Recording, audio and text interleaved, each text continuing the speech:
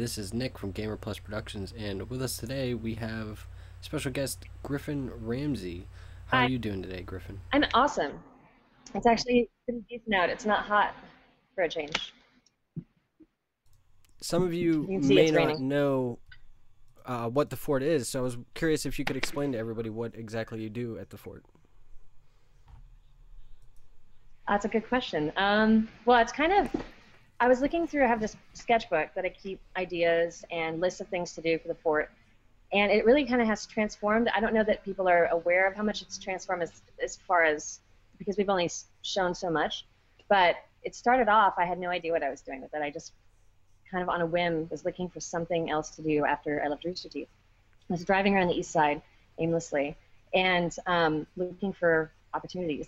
And I came across this space on Craigslist, and uh, I called the landlord, and he said, "Well, you know, I've got some people. They're about to take it. They finally got a group of people together to rent it, but they're not going to be here for another 15 minutes. If you want to swing by." And I sped over here and walked in the door. There was a G over the door, and there is a you can see like a sliding bay door, which is something that I was really attached to um, in my workspace at Rooster Teeth.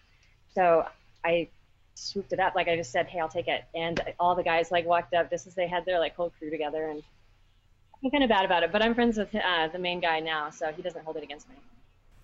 Do you find yourself getting more inspiration from living in Texas, or have any of your ideas or techniques changed?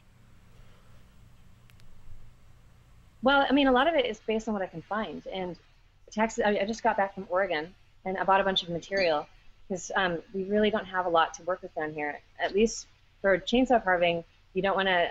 I haven't really used the hardwood yet. I'm going to try. I got some walnut, um, but for the most part, there's only eastern red cedar, which is you can't get it very big.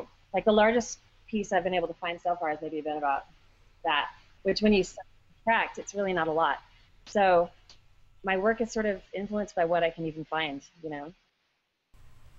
You mentioned in another interview that your favorite piece of work was your totem pole, since you grew up surrounded by them. Since then, has any other work taken the top spot? Um,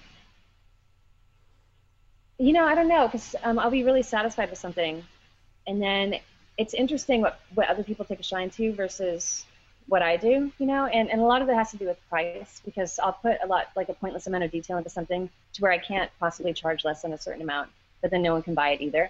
Um, and I guess it's good because then you end up holding out of those pieces and they're the ones you want to show off anyway.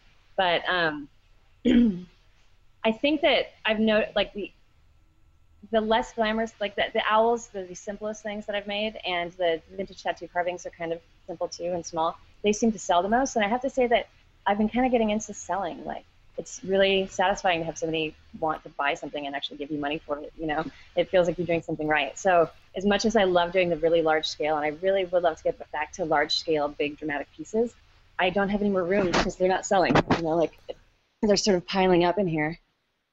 Oh, let me show you. Hold on. This is the one I'm probably the most proud of, detail-wise, but I don't know that it's ever going to sell because it's the most expensive. That is quite the beautiful piece of work. Uh, how much do you have that listed as? Um, I put it down for twenty-eight fifty because I just put so many hours into it. Hold on. So you can see it's like a naga, but instead of a snake body, it's her braid.